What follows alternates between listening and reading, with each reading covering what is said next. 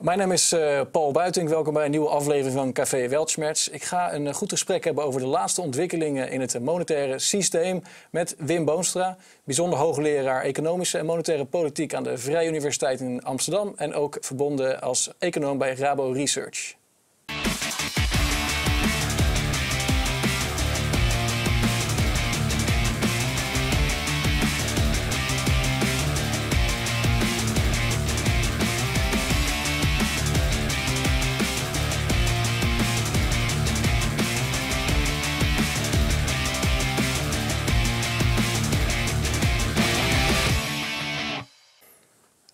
Wim, leuk dat je er bent. Uh, leuk dat je ook zo enthousiast reageerde op de uitnodiging om, uh, om te gaan praten met mij over uh, de nieuwste ontwikkelingen in, in de geldwereld.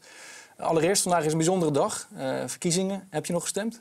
Ja, uiteraard heb ik gestemd. Wil je daar iets over uitlaten? Dat wil je weten. Wie heb je gestemd? Nou, laten we zeggen dat ik mijzelf als sociaal-liberaal afficheer. Juist. Ja. maar toen ik de stemwijzer invulde, kwam ik bij de ChristenUnie uit. Ja, goed, uh, dat is het niet geworden, maar dan kunnen ze de rest wel raden. Ja, en ik hoorde Wie Bedraaier ook op BNR zeggen dat hij, hij wilde daar geen uitspraak over doen. Maar als je als Rabobank zou kunnen stemmen, waar zou de Rabobank op gestemd hebben? Ik denk dat de Rabobank eigenlijk uh, een aardige doorsnee van de Nederlandse bevolking is. Uh, misschien een lichte bias naar, uh, naar het CDA, iets meer dan een landelijk gemiddelde. Maar eigenlijk is dat was vroeger het beeld, maar dat is behoorlijk bijgesteld. We hebben wel binnen de afdeling onderzoekers hebben we verkiezingen gehouden. Nou, en daar zou een hele solide VVD-D66-combinatie uit zijn gerold. Met een ruime meerderheid in alle kamers. Dus, maar dat is uh, duidelijk niet typerend voor de hele bank en zeker niet voor het hele land. Nee. Nee, maar de, de, Rabobank is natuurlijk wel erg positief over verdere uh, ja, verdieping van de, van de eurozone. Ook in een recent rapport wat jullie gepubliceerd hebben, uh, is de Rabo uh, sterk voorstander van meer samenwerken. Dus het zou, als de Rabo als, als entiteit gestemd zou hebben, zou het waarschijnlijk niet, niet een, een partij zijn geweest die de euro wil verlaten. nee, maar niet, niet, om politieke redenen. Kijk, wij, wij, hebben het rapport en dat, dat is toch iets anders dan zoals jij het nu formuleert.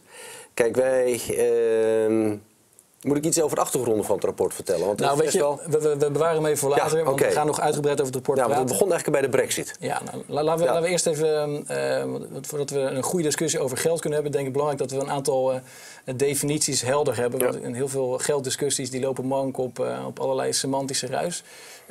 hoe, hoe zou jij geld willen definiëren? Wat is geld in, in jouw woordenboek? Nou, in in mijn woordenboek, in ieder geval zoals ik het aan mijn studenten uitleg, dan is dat van geld, dat is iets, could be anything, maar iets wat algemeen wordt aanvaard. Dat is belangrijk. Hè? Iedereen moet het ermee eens zijn dat het het geld is. Uh, voor het doen van transacties, om uh, berekeningen mee uit te voeren, dus waarde te bepalen. En je kunt het gebruiken als spaarmiddel, vermogenstitel. Hè? En als je die drie functies in één ding verenigt, dan heb je het over geld. Ja, dus je hebt een aantal attributen en samen maken die attributen dat er iets geld is. In, ingrediënten. Want je kunt natuurlijk ook je vermogen in, uh, in schilderijen of rode wijn of goud stoppen of zo. En je kunt ook. Uh, het gaat erom dat die drie dingen gezamenlijk kunnen worden gebruikt en, en dan heb je dus geld. En het moet algemeen aanvaardbaar zijn, zeg je, binnen, binnen een bepaalde uh, binnen een bepaalde grens? Ja. Of? Nou, dat hoeft niet. Uh, kijk, uh, je komt bij de discussie, is een bitcoin geld? Nou ja, in de wereld van mensen die bitcoin accepteren, ja. is bitcoin geld. In de virtuele samenleving van bitcoin gebruikers is, dat dan algemeen aanvaard. Dus dat zou dan je, je definitie zou dan kloppen voor wat betreft bitcoin. En, en, en de crux van geld is ook dat, dat iedereen het aanvaardt. He, op het moment dat die algemene acceptatie wegvalt, dan doet het er ook helemaal niet toe of het van, van ijzer, van goud, van papier of digitaal is of zo. Of dat het wettig betaalmiddel is, ja of nee.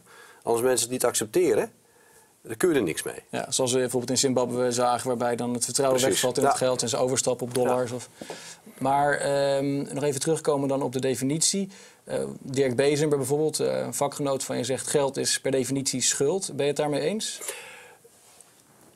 Ja, zei het dat er wel um, uh, een verschil is tussen uh, geld wat de overheid in omloop brengt en de geld wat, wat de banken in omloop brengen. Het girale geld is een schuld van de bank aan jou. Ja.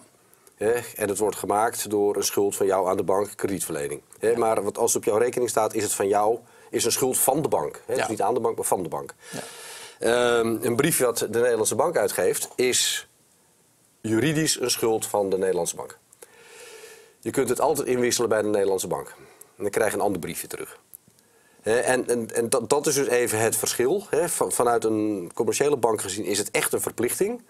Vanuit de centrale bank is het dat in de, geen echte verplichting meer. Juridisch wel, maar niet echt. Dus het is wel schuld.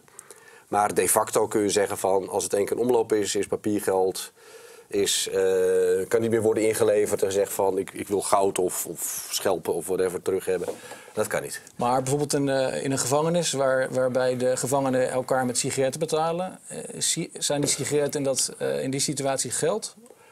Um, nou, dan, is zijn, dan hangt er vanaf. Uh, kijk, als, als, ik bedoel, sigaretten is een mooi voorbeeld inderdaad. Want er, er zijn voorbeelden van samenlevingen die op die op sigaretten hebben uh, gedraaid. Of schelpen? Of... Uh, het hangt dus wel van de algemene ervaring af. Kijk, op het moment dat, uh, dat jij... Eh, ja, hoe zal ik het uitleggen? Dat is natuurlijk helemaal niet zo eenvoudig.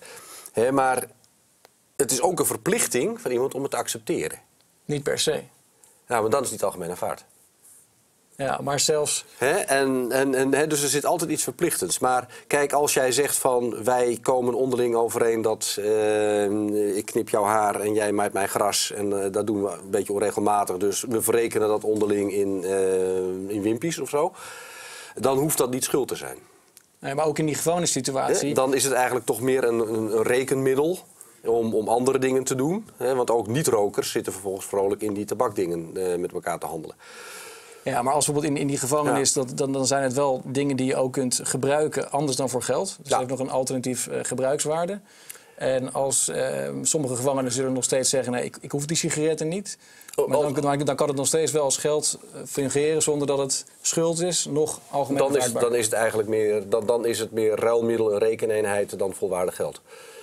Kijk, er is zelfs een, uh, dat is wel een mooi voorbeeld. In, in de Verenigde Staten heeft gedurende 200 jaar een tabakstelsel gefunctioneerd dat was, toen waren het nog de Engelse koloniën. Ja. Uh, ze hadden daar geen metaal en ze wilden toch geld. Toen kwamen ze op het idee van, weet je wat, we gaan elkaar een tabak betalen. Dus dat kun je een beetje groeien en dan kan de geldhoeveelheid meegroeien met je economie, letterlijk in dit geval. Maar wat gebeurt er dan? dan? Dan krijg je de wet van Gresham, dat wil zeggen dat het slechte geld het goede geld wegduwt. De lekkere tabak wordt opgerookt en de foute tabak blijft in circulatie. Wat er dus betekent dat de kwaliteit van het geld steeds slechter wordt. Nou, dat hebben ze toen opgelost door tabakpakhuizen op te richten. En daar kon jij met je tabak naartoe. Dan werd het uh, gemeten op kwaliteit en hoeveelheid. En op basis daarvan kreeg je dan een stukje papiergeld. Wat recht gaf op zoveel kwaliteit tabak. En in de praktijk werd dat papiergeld dus overal geaccepteerd maar eigenlijk was het een schuld aan de centrale bank, het tabakpakshuis. Want je kon het altijd weer inruilen tegen tabak. Alleen dat deed niemand meer. Ja, een beetje zoals de Amsterdamse Wisselbank eh, ja. in, de En het heeft meer dan 200 jaar gefunctioneerd.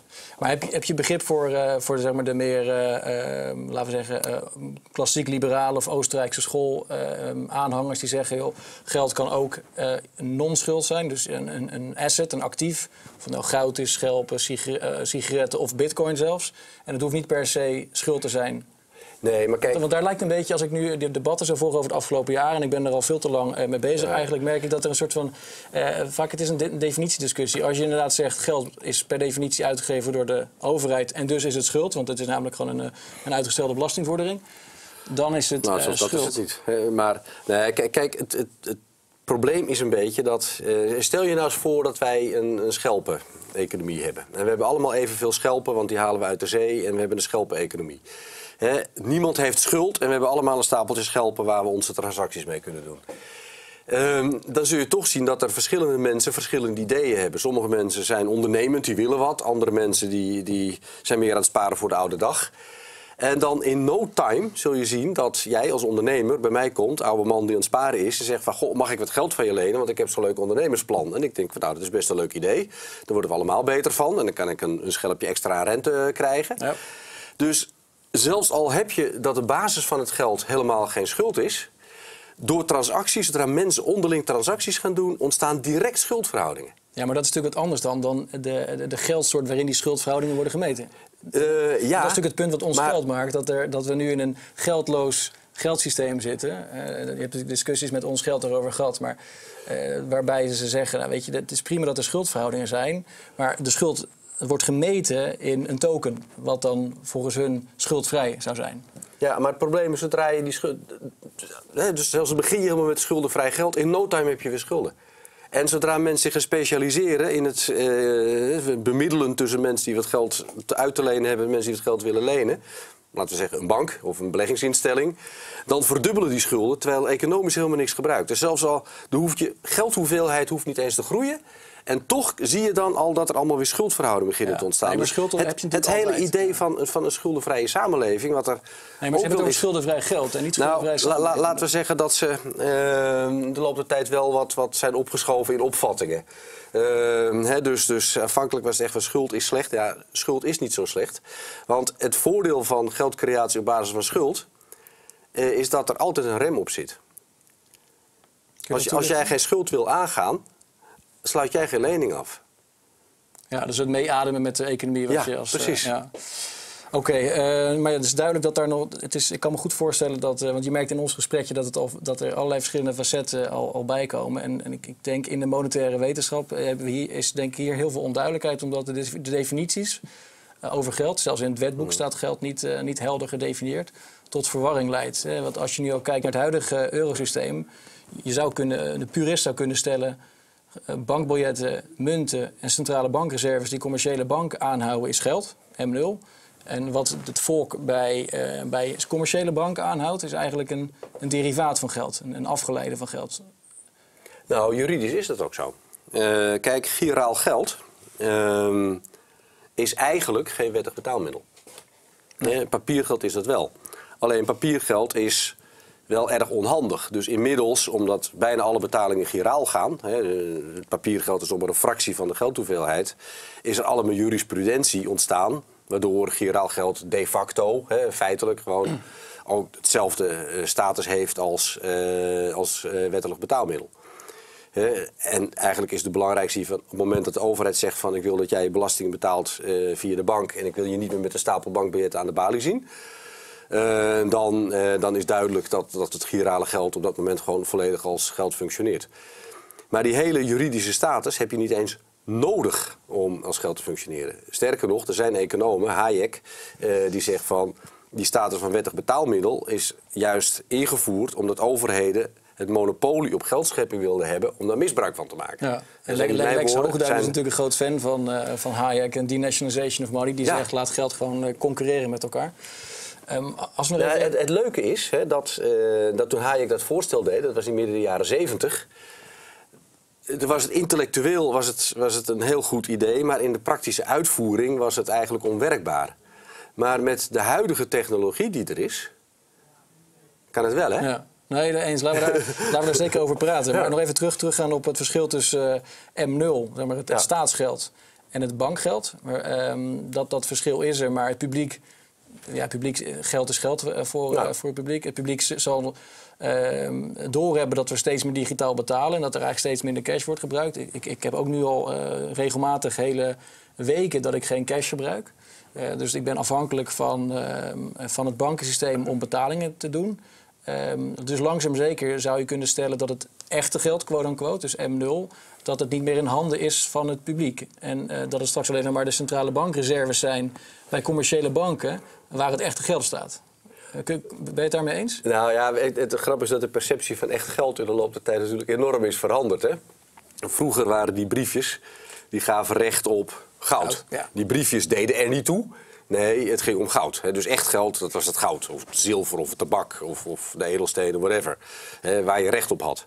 In de praktijk gebruik je, want dat was echt het papiergeld deed er niet toe. Toen ben je een paar honderd jaar later. En ja, oké, okay, we hebben bankrekeningen. Hè, honderd jaar geleden hadden we dat al. Maar echt geld is papiergeld. Nee, dat, dus papier, papiergeld is echt geld. Hè, bankrekeningen doen er niet echt toe. Cash is king. En nu zitten we in het stadium van, ja, nee, centrale bankgeld, daar gaat het om. Maar dat is net zo giraal als het geld wat op de bankrekening staat. Het is alleen een andere instelling. Dus, dus je merkt dat het hele idee wel van wat, wat is echt geld, ja, dat, dat is ook iets wat in de loop der tijd natuurlijk continu verandert. Maar het is natuurlijk wel een verschil tussen eh, iets eh, uitgegeven door de staat of uitgegeven door de markt. Met name natuurlijk de discussies die we nu ook in de zorg hebben van eh, we moeten naar een nationaal zorgstelsel, we moeten naar een nationaal dit stelsel of dat stelsel. Ik ben van mezelf vrij libertarisch hoor, dus wat dat betreft ben ik juist wel voor, voor concurrentie van allerlei zaken. Maar ik, ik kan me wel voorstellen dat het publiek en dat, dat, dat merk ik om me heen, dat hoor ik ook. Eh, niet alleen maar bij de geldgekkies, waar ik me vaak onder begeef. Maar dat, er is natuurlijk wel een trend nu in de samenleving richting een, een, een, ja, een cashvrije samenleving of een cashloze Oh. samenleving.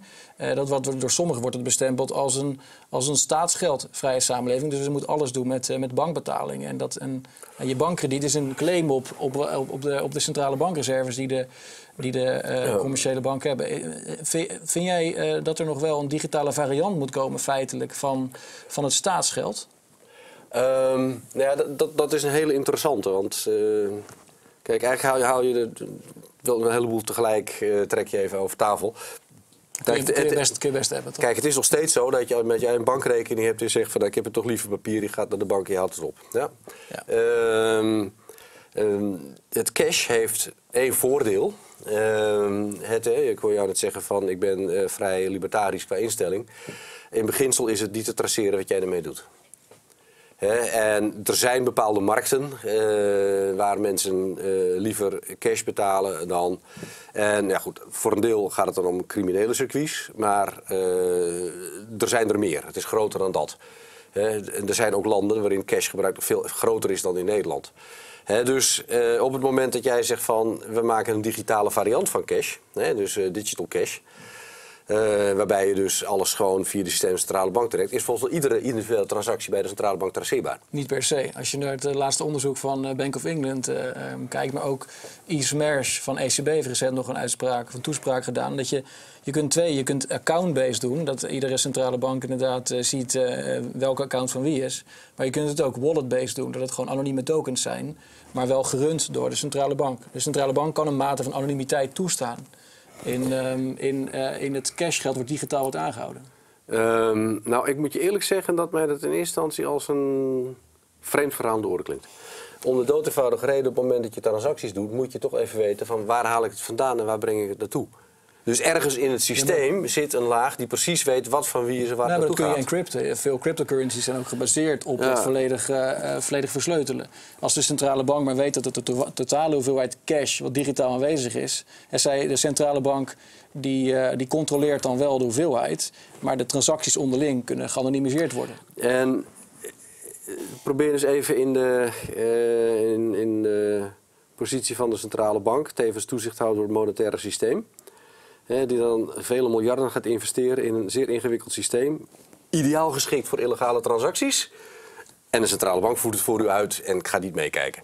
Maar, maar zeg je hiermee dat je, dat je tegen, tegen de eh, eh, privacy bent? Dat je, eh, want dat, is het ook een nadeel van cash dan? Wil, je om die reden van cash af eigenlijk? nou, en de dat, muntjes? dat, dat hoor je mij niet zeggen. Maar kijk, ik, eh, ik sprak een tijdje geleden met een, een man die wetenschappelijk werkt op het gebied van bitcoins. En die wist mij te vertellen dat toch het overgrote gedeelte van de transactie met bitcoins toch wel vaak gaat om transacties die daglicht niet kunnen verdragen. Nou ja, kijk, dat, dat er heel, dat er heel veel. Het gros wordt gebruikt voor speculatie momenteel, laat, ik- laat ik het zo ja, op de goed op dit moment gebeurt alles Ja. in China. En dat heeft weer andere redenen. Eh, Maar, maar even het, op- het, het, kijk, wij op dit moment, eh, bijvoorbeeld heel veel betalingen gaan via systemen van banken. En banken spelen best een hele belangrijke rol in criminaliteitsbestrijding. Maar daar heeft Rabo natuurlijk recent nog een, eh, was betrokken bij het, eh, het, eh, witwassen van drugs eh, als, als bank, toch? In eh, Mexico. Nou, daar weet ik zelf niks van. nee, ongetwijfeld. maar- nee, goed, ik, ik heb het ook in de krant gelezen dat, dat ik weet dat daar ergens iets speelt. Maar het fijne weet ik er niet van. En eh, Nee. dan opereer ik liever ook op een niet-to-know basis. In dit geval hoef ik het niet te weten. Ja. Eh, maar ik weet ook dat eh, heel veel transacties met landen, eh, of, eh, ja, die worden echt grondig gemonitord. Van jongens, zit hier toch geen wapenhandel achter? Zit Maar- hier toch geen financiering Ja. van terrorisme achter? Zit hier toch geen drugshandel Maar achter? ben, je, Wat- maar ben je voor het Eh, afschaffen en van cash? Eh, gewoon het, het huidige cash wat we hebben. Eh, muntjes en... en, en ik, heb en- er, en ik heb er geen sterke gevoelens bij. Betekent dat dat je er wel dat je er vanaf wil of dat je het wel... Nee, dat betekent dat, het mij, dat ik daar geen sterke gevoelens bij heb. Oftewel, het, het maakt mij niet zoveel uit. Ik denk dat, dat we prima Maar zonder, we- zonder cash kunnen. Want als we Maar ik, denk, maar, ik denk, maar ik denk dat er een maatschappelijke behoorlijke weerstand eh, tegen is. Maar, maar net gaf je aan dat als we daar een digitale variant van gaan maken, dan zou dat eh, volledig transparant moeten zijn voor de centrale bank. denk waarom, ik maar wel, waarom zou je dan niet diezelfde mate van anonimiteit zoals we die nu hebben bij, bij cash ook digitaal terug laten komen? Nou, dan heb je een probleem. Hè, want eh, wat er nu is, hè, want we weten toch ook dat er in criminele circuits verhoudingsgewijs meer met cash wordt betaald dan giraal. Juist vanwege die traceren. En dan maak je dat als centrale bank eens een keer eenvoudiger. Nou, ik weet niet, ik ben geen centrale bankier, maar ik zou achter mijn oren krabben van jongens, moeten wij nou ons best gaan doen om dit soort transacties te faciliteren? Of moeten we er zorgen dat we vanaf komen? Maar, maar, eh, Hè, dus ik kan mij voorstellen dat... dat maar dan ben je, ook, ben je ook tegen briefgeheim dan? Je? Ben je dan ook tegen briefgeheim? Want eh, mensen mailen ook over allerlei transacties. Misschien dat de overheid dat ook maar moet gaan meelezen dan. Want eh, waarom zou je daar wel een bepaalde mate van privacy toestaan? Maar als het gaat om eh, om simpele transacties, eh, dat, het- dat je het allemaal eh, inzichtelijk maakt voor de overheid. Nou, ik vind, ik vind dat dus een, dus Or- een hele lastige... Orwell- Orwelliaans klinken. Nee, kijk, ik, hou, nee, ik, ik ben absoluut geen Orwelliaan hoor. Eh, ik hecht erg aan, aan de privacy en aan dingen als briefgeheim. Maar waarom dan niet Maar, te- maar tegelijkertijd, nou, eh, tegelijkertijd weten we wel dat er natuurlijk een, een spanning zit. Eh, en en dit, dat zal er altijd zijn geweest van, ja, jongens, als samenleving moet je jezelf wel kunnen verdedigen. En dan kom je op een heel grijs gebied. Hè, waar, waar houdt het belang van de privacy van de individu op en waar mag een overheid interveneren? Dat is natuurlijk geen monetaire vraag, dat is veel meer een, een, een politiek-ethische vraag. En ik vind dat een hele lastige, want eh, eh, er zijn natuurlijk overheden die veel verder gaan dan eh, jij en ik prettig vinden. En de meeste mensen prettig zullen vinden. Sterker nog, ik denk af en toe wel eens dat men sowieso veel verder gaat dan de meeste mensen realiseren. Ehm, aan de andere kant willen we ook niet eh, op een nare dag worden getroffen door eh, het soort aanslagen zoals we af en toe in de krant lezen. Omdat we niet konden opletten en een paar heel evidente betaalstromen over het hoofd hebben gezien. Of eh, communicatie over het hoofd hebben gezien. Ah, het, is een het is een slippery slope, hè? het- ja, ja, ja dat, dat is het zeker. Dat is het zeker. Oké. Eh, QE, ook een Ja. erg interessant onderwerp. Wat, wat, wat vind je van het huidige QE-beleid? Ehm, nou ja, ik, ik vind het een, eigenlijk een stap te ver. Kijk, de, op zichzelf ben ik een redelijk fan van de, van de Europese Centrale Bank. Die, die heeft eh, de euro bij elkaar gehouden. En dat, ik denk dat het economisch een, een, goede, goed idee was. Anders was de zaak gewoon uit elkaar gerobbeld. En daar had ik vor- vorige week nog een leuke discussie over met, eh, met Kees Verhoeven, D66. Die zei ja, ja, geef de bank maar de complimenten. Ik zei ja, nou, de politiek heeft het niet gedaan. Eh, kan ook niet, omdat politieke processen sowieso meer tijd nodig hebben. eh, en Europese politieke processen nog eens een keer twee keer, drie keer zoveel tijd nodig hebben. En op het moment dat je een acute crisis hebt, moet je dezelfde dag iets kunnen doen. En de Europese Centrale Bank is de enige instelling die dat kan. En die heeft dat in de tijd heel goed gedaan. Dus toen, toen een aantal landen onder grote druk kwamen. eh, dus met gericht opkopen van, van, van, van papier en zo, die rentes in het gereel gekregen. Dat waren goede acties. Ehm, bij kwantitatieve verruiming heb ik van meet af aan grote aarzelingen gehad.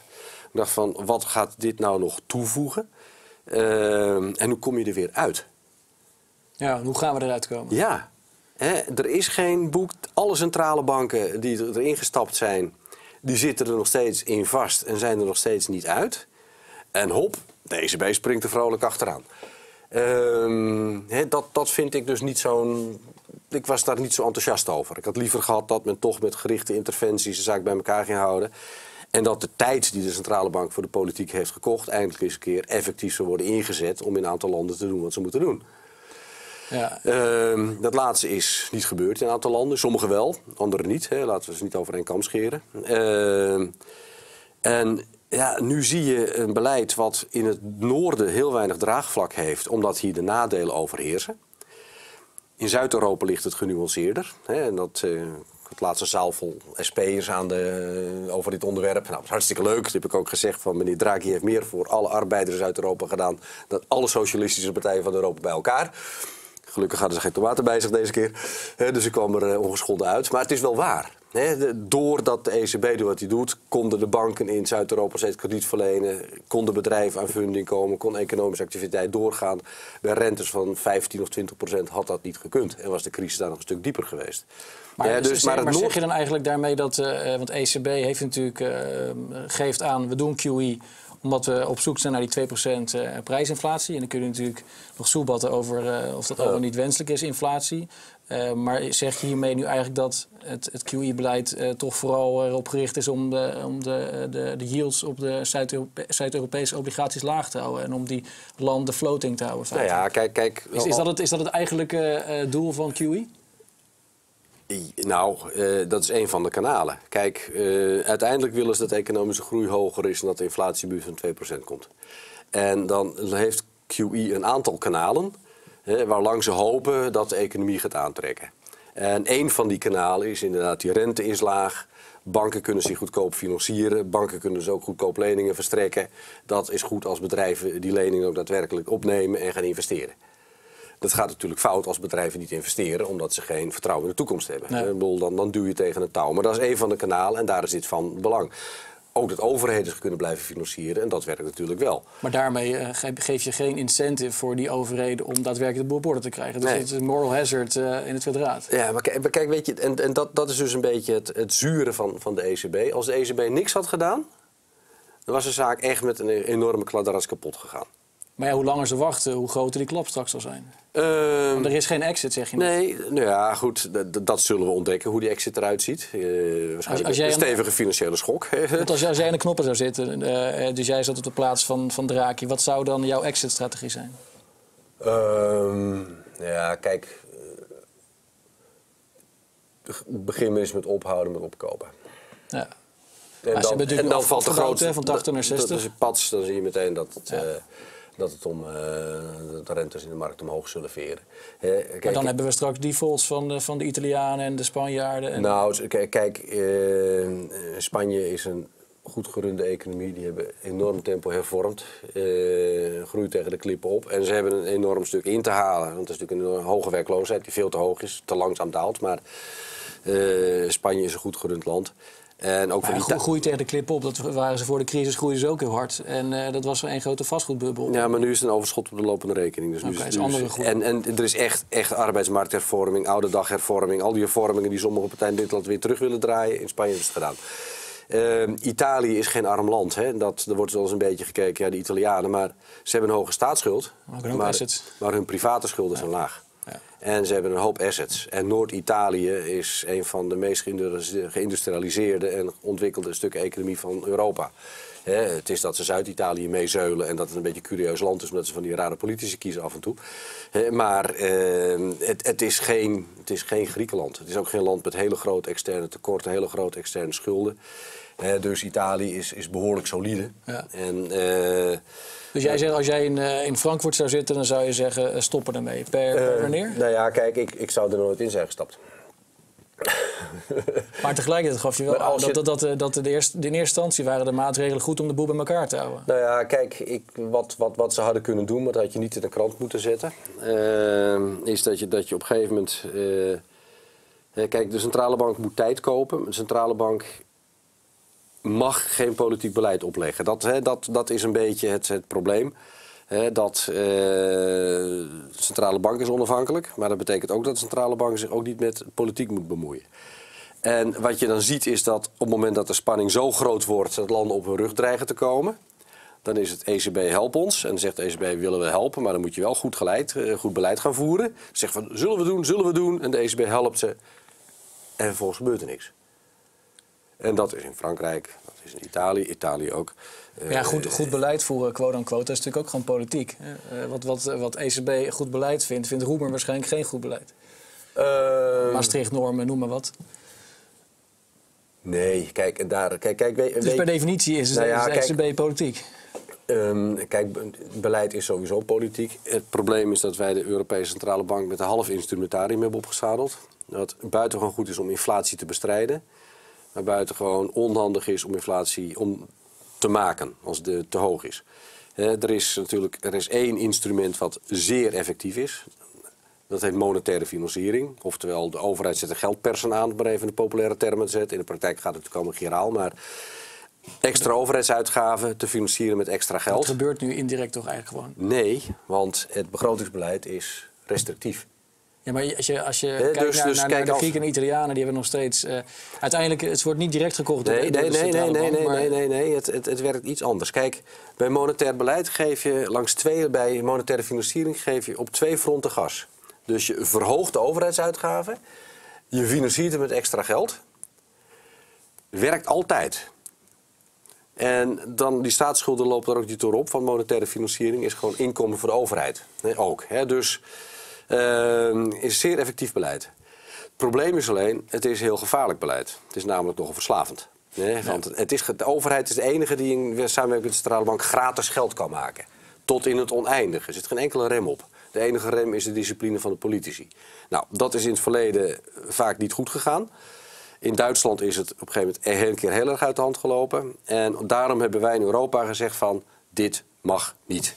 Nee, Punt. maar, maar nu is er een meer- mildere variant feitelijk, toch? Want de, Nee. De Italianen hebben nog steeds geen prikkel met die lage yields om, om de boel op orde te Ja, maar kijk, kijk en, en QE verschilt er dus... Aan de ene kant kun je zeggen van oké, de centrale bank koopt overheidsschuld op.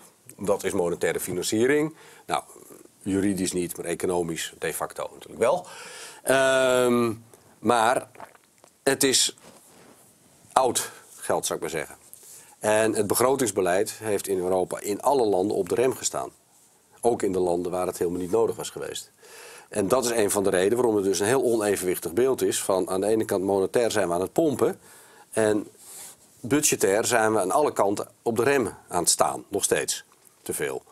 Ja, en daardoor komt dat herstel in Europa toch een stuk langzamer en moeizamer van de grond. Dan het bijvoorbeeld in de Verenigde Staten is gebeurd. En daar gebeuren dan allemaal dingen met de inkomensverdeling van, voor meter deugd. Hè, maar die Amerikanen zitten alweer hun negende jaar van groei. Nou, Nederland is apetrots dat ze in ons derde jaar van economische groei zitten. We vinden hoogconjunctuur. Hartstikke mooi. Maar mis je dan als, als econoom niet het feit dat wij eh, geen eigen ehm, munt, munt uitgeven? Want voor, eh, voor eh, de Europese landen is de euro in zekere zin een verkapte goudstandaard. Omdat je niet zelf monetair beleid kan bepalen. Mi- Mis je dat als econoom niet dan? Nou, kijk, we wilden er juist vanaf dat ieder land maar wat deed. Die periode. Wij deden niet meer wat wij deden. We hadden een goed beleid samen met, met, eh, met de kijk, markt. Ne- Ne- Nederland zat aan eh, Dus Duitsland. wij, zijn van, wij, zijn, wij, wij zijn erop achteruit gegaan. Nou, nee, want wij hebben nu een stem in het monetair beleid. Voordat we de euro hadden, hadden we geen stem in het monetair beleid. Wim Duisenberg was toen president van de Nederlandse Bank. Nou ja, hij deed van alles, maar zijn monetaire beleid kostte hem niet veel tijd. Dus eens in de twee weken kregen we uit Frankfurt te horen van we doen dit. En zeiden van wij doen hetzelfde. En dan kon weer andere dingen gaan doen. Maar zeg je met hindsight dat eh, met, zelfs met de kennis van nu hadden we alsnog moeten, eh, moeten meedoen? Of als we nu terug kunnen gaan in de tijd en wat we net. net Nee, nee, kijk, als Duitsland en Frankrijk een euro invoeren, moeten wij meegaan. Wij, wij zitten namelijk monetair al decennia aan Duitsland vast. Goed, de, En- de, en dat de- is- de en Denen dat- en de Zweden zijn ook niet meegegaan. Dus, eh, Eh, nee, ja, goed, kijk, de, de Denen de facto wel, maar die, die hechten wat meer aan het, aan het gezicht. De Engelsen zijn niet meegegaan, was heel verstandig, want de, economische structuur van Engeland is wezenlijk anders dan die van eh, continentaal Europa. Het is een veel rentegevoeligere economie. Dus dan pakt de gemeenschappelijk monetair beleid niet goed uit. En er zijn natuurlijk landen die niet goed hebben nagedacht toen ze dachten van wij doen mee met die euro. Griekenland had er sowieso nooit ingemogen. Hè, dat vind ik nog steeds. Die hadden in 2003, wisten we al dat ze gelogen hadden, hadden ze gewoon met een enorme boog er weer uit moeten zetten. Ehm, dat had een boel ellende voorkomen. Daar was het denk ik allemaal anders gelopen. Maar ook een land als Portugal, wat, wat er niet gefraudeerd heeft. Ja, dat land heeft een vrij zwakke economische basis. Wat heeft hij in de monetaire unie met Duitsland-Nederland te zoeken? Wat twee zwaar geïndustrialiseerde, zeer concurrerende landen zijn. dat is een beetje het, het optimale eh valutagebied waar je naar op zoek bent. eh. Nou, weet je, dat optimale valutagebied dat is er niet.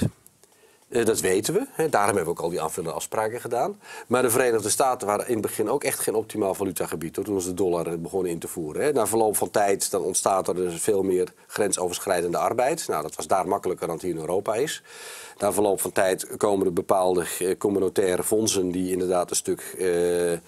recht kunnen trekken als het ene stuk wat minder gaat dan anders, eh, andere plek. Hè. Nou, daar heb, je, daar heb je dus een federale begroting voor. Dat hebben wij allemaal nog niet. Dus des te belangrijker worden de afspraken die we maken en dat je daaraan houdt. Ja. Hè, Maar het begint ermee dat je goed moet nadenken: wil ik wel een monetaire unie met 's werelds meest concurrerende industrieland, Duitsland? Nou, voor ons was dat een heel wijs besluit. De Belgen hebben dat besluit ook genomen, hebben hun beleid aangepast. Eigenlijk geen centje pijn in de euro. Uh, zo zijn er nog een paar landen, maar in Zuid-Europa heeft men dat uh, zwaar onderschat. Okay. Wat ook niet wegneemt dat inderdaad, het is een rigide systeem. is. je noemde de gouden standaard. Uh, de gouden standaard, en stelde van Bretton Woods wat daarna kwam, was minder rigide dan de eurozone. want als je nu in zo'n monetaire unie zit en het gaat niet goed tussen twee landen, dan is er nog maar één manier om het recht te trekken. Dat is een interne devaluatie, oftewel relatieve loon- en prijsverlaging. Ja, en als dan de overschotlanden daar niet aan meewerken, dan komt alle aanpassingslast bij de tekortlanden terecht. En dat is een, iets oneerlijks in het ontwerp van de euro. En nog even over QE, uh, de, die, het opkopen van bedrijfsobligaties. Uh, wat voor veel mensen wordt gezien als uh, oneerlijke concurrentie. Want de kleine bedrijven die zitten niet in die positie dat hun obligaties worden opgekocht. Je, vind je dat een goed besluit of zou je dat zelf niet gedaan hebben? Nou, ik zou dat zelf niet gedaan hebben. Nee omdat, omdat, ik... Een paardenmiddel, wat... wat uh... Ja, weet je, en kijk, ik, ik, ik vind het onplezierige van dit moment... dat ik, ik heb het idee dat we op een soort monetaire gletsjer terecht zijn gekomen... die langzaam omlaag schuift.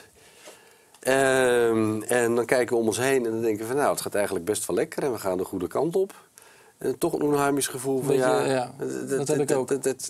Dit kan op de een of andere manier niet zonder een enorme schok ik heb hetzelfde gevoel. Een soort stilte van ja. stilte, weet je, het oog van de storm staat. En uh, het geeft inderdaad een onheimisch gevoel. En iedereen is weer in de uh, hoezee-stemming. De crisis is voorbij, uh, hoor ik alom. De huizenprijzen gaan natuurlijk weer door het dak. Ja, dat, dat, kijk, de consequentie is van, van het beleid van meneer Draghi. Ja, en, en wat, in, Toch, en wat in Nederland natuurlijk enorm hard heeft doorgewerkt... is natuurlijk in het dekkingsgraad van pensioenfondsen.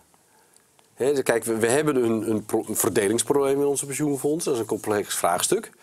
Een fundamenteel vraagstuk, maar het was niet acuut. Maar dat die, die dalende rente, dan gaat die rekenrente dalen. En als de rekenrente daalt, dalen de dekkingsgraden. Dat is gewoon één op één terug te voeren op de acties van de centrale bank. En die hebben de crisis dus wel acuut gemaakt. Ja. En dat hebben we dus ook niet zien aankomen. Tenminste, de toezichthouder heeft dat niet zien aankomen. Want dan hadden ze toch in een eerder stadium moeten zeggen... jongens, we hebben een foutje gemaakt. Die rekenrente is procyclisch geworden. Hadden we beter niet kunnen doen. Nou, nu zitten we wel een beetje met de gebakken peren daar. Helder. En uh, alternatieven voor QE, dus dat uh, rechtstreeks geld wordt overgemaakt naar uh, de bankrekeningen van ons? Dat we, mensen, dat we echt naar de mediamarkt gaan dezelfde dag nog en, en reisjes boeken? Kijk, helikoptergeld is gemarkeerde vorm van monetaire financiering. Ja, Gewoon iets minder effectief. Het klinkt dramatischer, maar eigenlijk is het minder effectief. Maar het komt wel bij de mensen rechtstreeks en niet bij de vermogende, vermogende klassen die uh, hun, assets in waarde zien stijgen. Nee, kijk, dat, dat is zo. Om te beginnen valt het met die vermogende klassen van mee, want die assets die zitten vooral bij pensioenfondsen. Dat, dat, is een van de dingen die we in Europa, die in Nederland dan althans ja, beter dan andere landen. De eigen huisbezitters is ook. De, de... is inderdaad een probleem, maar ik moet nog. Daar maken we dus ook zorgen over. Want de rente is lekker laag, dus je kunt heel veel lenen. Maar als op enig moment die rente gaat stijgen, dan zijn toch altijd de marginale kopers in de markt die de prijzen zetten. Dus die prijzen zouden best kunnen gaan dalen. En dan zitten opeens toch wel weer meer mensen onder water. Ik, ik vind dat dus best wel ja. een beetje griezelig. Onderdeel van de, van de gletsjer. Nee, maar uh, kijk, die vermogensmutaties, dat zit bij ons vooral bij institutionele beleggers. Hè. Dat, dat, dat, is, dat, dat is goed nieuws voor de pensioenfondsen. Alleen die rekenrente-effect werkt zwaarder. Hè, door dus in de dekkingsgraad per saldo gaat het niet goed. Hè, maar... Uh, die valse concurrentie. Kijk, die, die kleine MKB-bedrijven die profiteren wel weer van de lage bankrentes als ze geld willen lenen en zo. maar, uh, ja, dat is, een, dat is een indirect effect. Dat is een beetje trickle-down feitelijk. Uh. Ja, maar, maar, kijk, weet je, het, het, het, het, is gewoon een hele vreemde situatie als de centrale bank al dit soort dingen aan het opkopen is. Kijk, en je krijgt dus, dus hele gekke dingen. Hè, van als je nou bijvoorbeeld de Nederlandse staatsschuld neemt, nou ongeveer 20% daarvan is dus ook opgekocht onder QE ondertussen. Dat betekent dus dat van die 60% BBP, wat het ongeveer is, nou hoeveel geld is dat? Dat is een orde van kleiner de 400 miljard uh, euro. Daarvan is dus op dit moment zo'n 80, 80 miljard uh, is bij de Nederlandse bank op de balans. Dan krijg je dus hele rare dingen. Hè. Van minister Dijsselbloem betaalt keurig rente aan de centrale bank op de staatsschuld die de centrale bank aanhoudt. Dat slaat neer in de winst van de centrale bank. En de centrale bank keert die winst uit de enige aandeelhouder. De Nederlandse staat bekeert het post, komt er terug. dus zodra staatsschuld één keer in handen van de centrale bank is, verliest het eigenlijk zijn monetaire relevantie. en dan zou je dus kunnen zeggen: jongens, we gaan voor een big reset. We strepen die hele zaak weg. Centrale banken, oké, die leiden verlies, het zij zo. Negatief eigenvermogen, Negatief maar ja. eigenvermogen, centrale bank, who cares? Ja. Eh, dat, dat kan een commerciële bank zich niet veroorloven, maar bij een centrale bank is Je het... kunt altijd een of andere asset eh, gaan eh, activeren op de balans om het weer recht te Precies, of we zetten al die schulden om in, in, een, in een eh, perpetual zero coupon bond. Eh, die waarderen we op marktwaarde. En over... Het probleem is alleen dat je dan wel zoveel moral hazard inbrengt. Hè? Want je kunt die Grieken natuurlijk best met één grote schok eh, schone lei geven. Maar dan weet je dat... Tenminste, wij Noorderlingen zijn dan bang dat in no time die Grieken weer Maar dezelfde dan laat je kant zien dat de keizer geen kleren aan heeft, eh, feitelijk, toch? In zekere zin. Als je, als je dat gewoon met een pen en streep kan, eh, kan wegdoen. Nee, maar het, het kan wel, maar je moet, je moet er geen gewoonte van maken. Nee. En ehm, die central bank digital currencies, dus dat je als burger rechtstreeks kan bankieren bij de centrale bank. Dat is mogelijk inmiddels in, eh, in Ecuador. Ik heb daar een tijdje gewoond. Mhm. Je kunt daar gewoon een rekening openen bij de centrale bank. Eh, is dat, er wordt naar gekeken door de verschillende centrale banken in Europa. Ben je daar als Rabo-econoom eh, voorstander van? Wil- Want we hadden het net natuurlijk over de, de vorm, hè, of het anoniem is of niet. Maar Ja. zou je het een goede ontwikkeling vinden als we binnen een paar jaar als burgers kunnen bankieren bij de centrale bank? Ehm, ja, heel veel hangt van de vormgeving af. Kijk, ik, ik vond dat idee van zo'n depositobank, hè, wat, wat in Nederland heeft gespeeld. Hè, Was ik zelf bij bank. betrokken toevallig. Ja, nou, dat, dat, dat vond ik eigenlijk best een, als ik het tenminste goed heb begrepen, want er is bedroevend weinig documentatie bekend geworden. Hè, vooral ook de motivatie centrale bank. Maar wat ik een beetje begrijp is dat dat gewoon een bank is die één op één. eh, je hebt een rekening en die wordt één op één, is gewoon gedekt Bij de, cent- bij centrale, bankreserves, ja. Ehm, nou, dat vind ik best een interessant iets. Eh, hè, dus dus als, als econoom zeg ik dan van, nou ja, eh, waarom ze zo'n experiment eh, dan toch met, met het idee van depositogarantie en zo. Eh, want dat was, dacht ik, het argument om het buiten de deur te houden. Van je moet meedoen met de depositogarantie. Ja, dus het businessmodel dood, dus dan kan het niet. Ehm, Dat zou je graag een kans willen geven als eerste stap. Ik had dat wel interessant gevonden, ja. Maar ben je dan ook als Rabobank actief in, in het proberen te beïnvloeden van Den Haag om, om dat soort wetgeving mogelijk te maken? Want het ligt nu bij Dijsselbloem.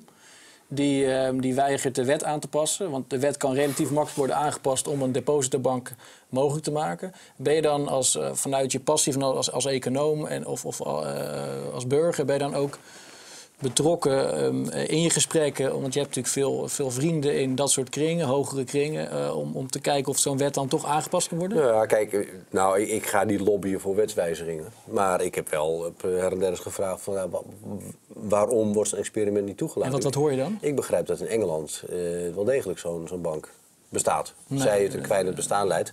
Eh, Kijk, aan de andere kant begrijp ik wat aarzelingen bij de centrale bank ook wel. Eh, door zo'n zo'n zo'n luik te openen, wordt een bankrun wel een stuk eenvoudiger. Ja, maar je kunt het. eh, En dat kun je aan de ene kant zeggen van, ja, nee, je, je kunt, je kunt- kunt beginnen met, nou, het mag, je mag maximaal 50 euro daar, eh, of 100 euro. Je kunt, je kunt natuurlijk gefaseerd invloeden. dus, dus, dus, dus je kunt daar, hè, jij, jij weet duidelijk meer van het onderwerp af dan ik, want jij was erbij betrokken en, en ik zit hier dus echt tertiaire informatie eh, te verwerken. Hè, ehm, hè, maar ehm, dat, dat je heel zorgvuldig moet kijken van wat is de impact op de financiële stabiliteit. Hè, dat, eh, dat begrijp ik vanuit de toeschouwende rol van de centrale bank heel erg goed. Aan de andere kant weten we dat dat bankwezen sowieso heel erg gaat veranderen. Het, eh, is niet alleen de depositoring, maar je ziet ook wat onder dus nieuwe Europese eh, wetgeving PSD2. Waarbij dus allemaal aggregators, bankrekeningen van verschillende banken eh, mogen bundelen, toegang krijgen namens de Ja. klanten tot rekeningen. Dat gaat ook het bankieren enorm veranderen. Dus er gaan sowieso hele grote verschuivingen Waardoor de bank die we over 20 jaar eh, hebben, eh, zal er echt heel erg anders uitzien dan de bank die we nu hebben. Eens. Nee? En- en dus er gaat van alles veranderen en dat hou je niet tegen. En dan kun je het maar beter gecontroleerd met experimenten meegaan. Om te voorkomen dat je op een gegeven moment als een tsunami over je heen rolt vanuit een hoek waar je het niet verwacht. Ja, en een deposito, ehm deposito garantiestelsel, dat is nu een ton. Dat was natuurlijk vroeger 20 plus 20 met 10% eigen risico. Dat is in de crisis door Bos tijdelijk, maar er is niet zo, tijdelijk, er is niet zo permanent als tijdelijke overheidsmaatregelen, ehm, verhoogd naar een ton. Rabo was daar moordicus op, op tegen. En De ehm, commissie De Wit heeft later eh, gezegd... jongens, die moeten naar beneden, naar 50.000. ChristenUnie was de enige partij in het, eh, in de, bij de verkiezingen... die in het partijprogramma iets opgenomen heeft over het depositogarantiestelsel... dat weer terug moet naar de 50. Wat, wat vind jij als, eh, als, als, als econoom van eh, het huidige DGS? Even los van wat er in Europa gaat gebeuren. Maar als we gewoon puur naar Nederland kijken... vind je dat die grens van een ton weer naar beneden moet, zodat er weer een, een, een goede prikkel ontstaat bij burgers om ook een keer te kijken naar van hoe staat mijn banken voor? Of... Ja, kijk, er, er zitten drie effecten aan de positogarantie. Er, er is een positief effect. Hè, en dat is inderdaad van, als jij weet, mijn spaargeld is direct de positogarantie, kan ik lekker gaan slapen. Ja. Dus uh, daarmee kun je ook bankruns voorkomen. Heel, simpel, als jij leest van bank A is in de problemen, jij bankiert bij bank B. Dat jij niet denkt van ik ga mijn geld bij bank B ophalen, want je, het, het is gedekt. dus dat, dat, is, dat, dat is het positieve effect. Het negatieve effect is ten eerste dat uh, uh, burgers dus ook niet meer kijken hoe gaat het bij een bank. Spaarders. Die zeggen van, nou ja, weet je, uh, waar is de rente het hoogst? Is de postgarantie? Ja, hop, ik ga naar de Juppie Juppie bank. Ja, dat, dat we met IJs ja. bijvoorbeeld. Hè? Dan, ja, maar dat is één. Ten tweede, bankiers, wetend dat spaarders niet opletten, zouden grote risico's kunnen nemen. He, dat risico dat wordt groter, omdat er dus de disciplinerende werking van de spaarder. Dus je hebt een dubbele moral hazard eigenlijk. En de derde is dat slechte banken komen heel graag in systemen met een grote depositogarantie. Ja. Zonder depositogarantie hadden wij ICE hier niet gehad. Dus per, dus per saldo, als ik dan, als je dan en, dan, kiezen, wat, en dan, wat doen we dan met DGS? Gaat die, nou, dan, dan, dan, is, dan is er dus, en dat was nog wel lang voor de crisis, was daar nog academische literatuur over. En zegt van, de voordelen die gaan ze over de eerste 20, 30.000 dollar of euro. Daarboven beginnen de nadelen erover hier. Dus eigenlijk zeg je ermee, we moeten ja. terug naar... Ja. Uh, dus de Rabobank spreekt zich uit voor afbouw van, van DGS? Nou, ik ben niet de Rabobank. Ik ben econoom, ik werk bij de Rabobank. Ja, eh, maar wij hebben uh, meerdere keren gezegd van een lage depositogarantie zou heel erg goed zijn. Uh, ook voor de concurrentie op de spaarmarkt omdat je dan als mensen dan, dan, dan hun geld op meerdere plekken gaan zetten. mensen die meer dan, dan die, die 30.000 of 40.000 euro hebben.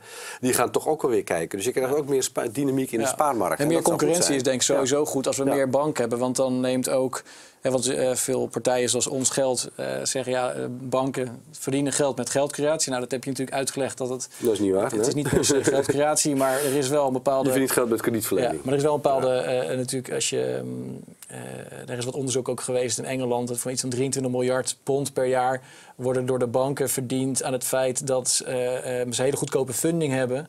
Uh, omdat ze uh, met die spaarrekeningen door geldcreatie relatief weinig hoeven te betalen aan de spaarders. Dus ja, dat onderzoek zou we wel eens willen zien, want voor Nederland is dat onderzoek ook gedaan.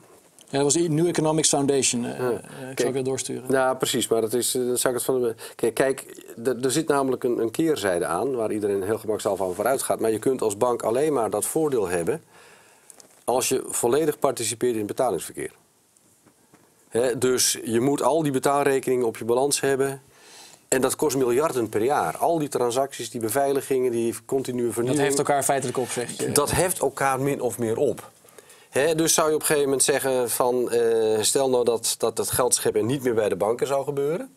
Nou ja, ik bedoel, dat kun je besluiten.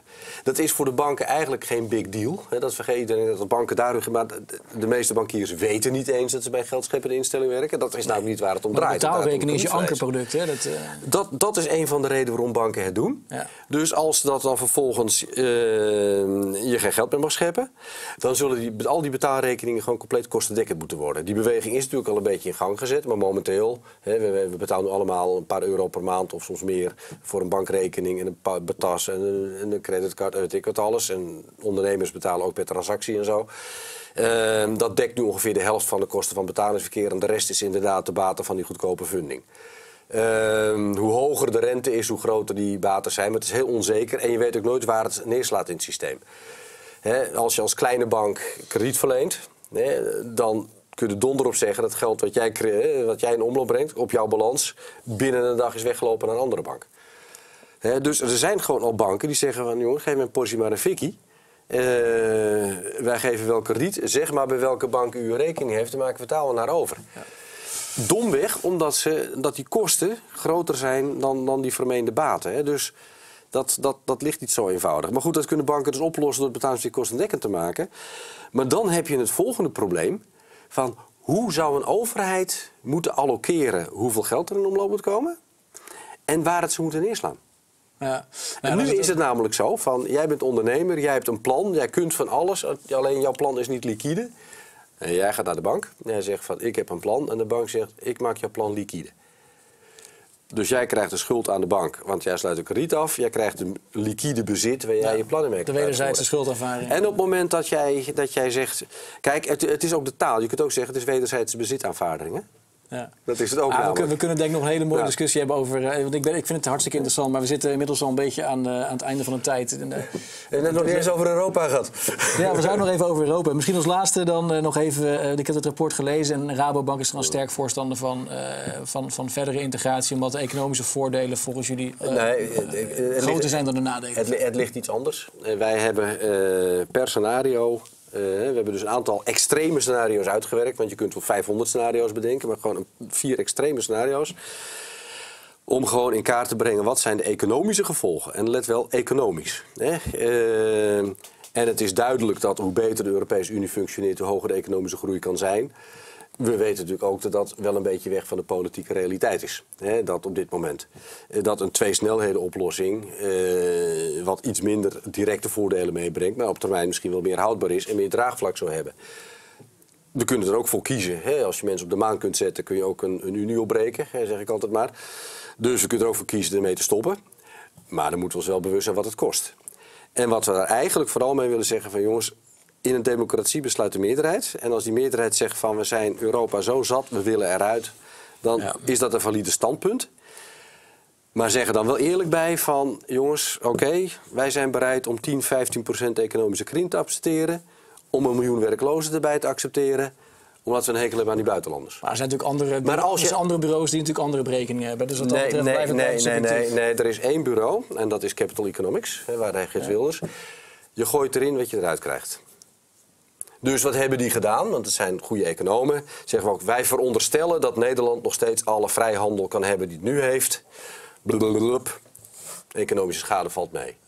Ja, nou, Haal die is- veronderstelling weg en het hele verhaal bestaat niet. Dus de brexit is Bij- wat dat betreft een interessante casus om te zien of dat, of dat Nou. inderdaad zo gaat uitspelen. Nou ja, kijk, bij Brexit zullen we het merken, maar er zijn een paar verschillen. Ten eerste is onze verwevenheid met Europa vele malen groter dan in Engeland. Dus eh, we hebben massa's Europese hoofdkantoren van buitenlandse bedrijven die zitten in Nederland. Ja, zou Nederland buiten in de interne markt zitten, zijn al die hoofdkantoren echt weg, want die hebben hier niks te zoeken. Want Europese hoofdkantoor, de Rotterdamse Maasvlakte wordt een prachtig natuurgebied en zo. Dat is hartstikke mooi voor de natuurliefhebbers. Maar als jij een baan in de Rotterdamse haven hebt, dan loop je toch wel 50% kans dat je naar iets anders moet gaan omkijken. En die effecten zijn eigenlijk ook knalhard.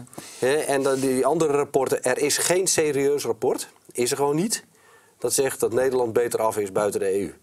En het leuke is met die capital economics, ze hebben dezelfde analyse gedaan rond het Schotse referendum. Nou, dat is precies de omgekeerde redenering, want daar moest uitkomen dat Schotland erbij moest Dus u blijven. vraagt, wij draaien zeggen. U vraagt, wij draaien en ze schrijven het allemaal heel netjes op. Maar het heeft helemaal niets met onafhankelijk onderzoek te maken.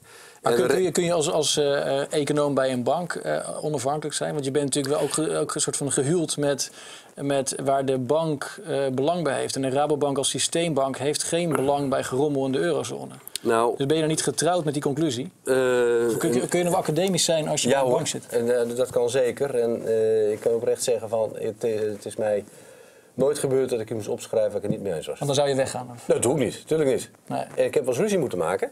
Hè, van, eh, dat, ze, dat ze zeiden van, niet zo pessimistisch over die woningmarkt. Ik zei van, nou jongens, dit, dit is wat wij vinden. Punt. En als ik nu opeens mee ga deinen met, ja, het is zo slecht voor het sentiment. Ja, dan kan ik mijn reputatie wel bij het grof vuil zetten. Ja. Eh, maar de reden waarom we dit deden, het gaat om klanten. Hè, eh, als, als Nederland, bijvoorbeeld, neem alleen de agrarische sector. Het, het raakt allemaal sectoren, maar gewoon één voorbeeld. De agrarische sector van Nederland. Die is buitenproportioneel groot in verhouding tot de economie. En die is buitengewoon gespecialiseerd.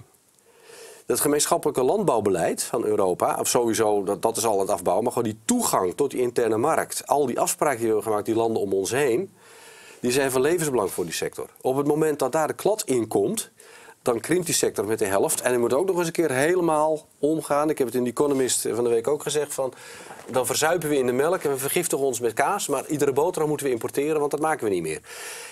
Die impact is enorm. En als je alleen maar kijkt naar logistiek, naar transport, naar industrie... het is enorm. En als wij onze klanten niet waarschuwen van jongens... in dat scenario zou dat kunnen gebeuren, bereid je erop voor... dan doen we ons werk niet goed. En dat het voor de bank slecht is, ja, maar als het onze klanten slecht gaat, gaat het sowieso slecht met de bank. Oké. Hartstikke interessant, leuk. Eh, Bedankt voor het gesprek. En eh, ik wil, wil afronden. eh, Wim, Wim Boomstra, dankjewel. Heel graag gedaan.